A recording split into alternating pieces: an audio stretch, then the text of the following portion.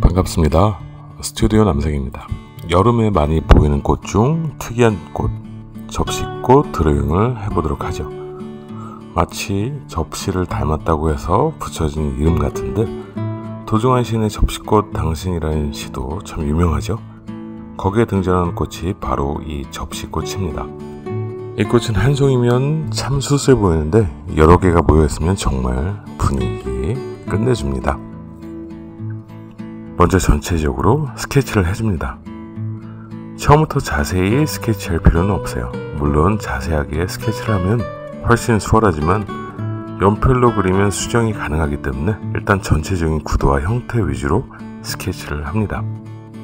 스케치가 다 되었으면 밝고 어두운 부분을 구분해서 연필로 표현합니다. 이때부터 묘사를 조금씩 해가면서 덩어리를 표현하면 나중에 완성이 쉬워집니다. 사진에 보이는 꽃을 살짝 지그시 눈을 감고 바라보면 밝음과 어둠이 더 구분이 잘 됩니다. 명암을 잘 표현하면서 그림을 그려줍니다.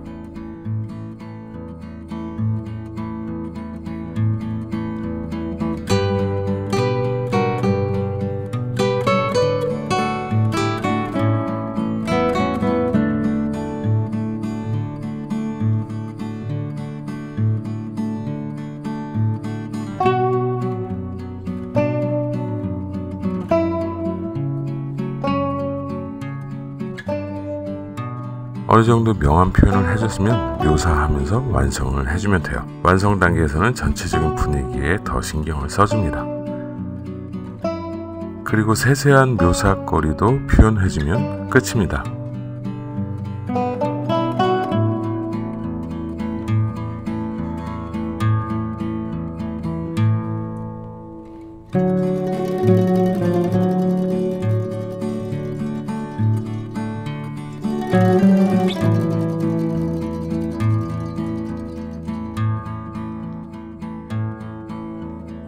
어느덧 접시꽃 드로잉이 완성되었습니다. 여름철에 피는 우아한 꽃, 접시꽃.